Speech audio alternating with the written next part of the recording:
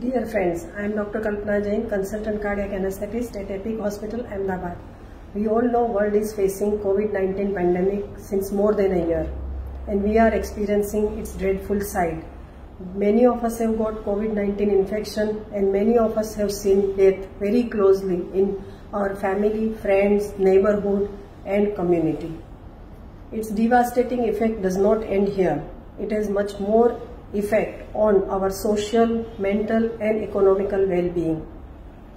Dear friends, this is pandemic. It will not go very soon. This is a very unforgiving virus.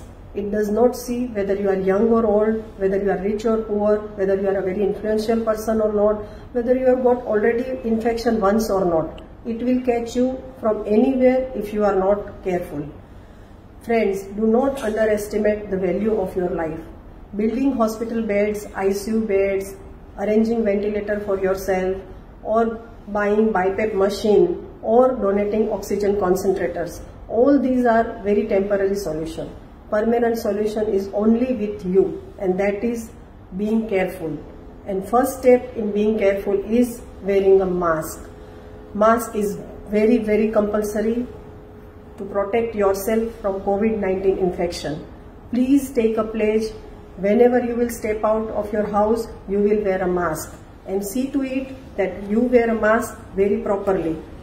You cover your nose and mouth like this.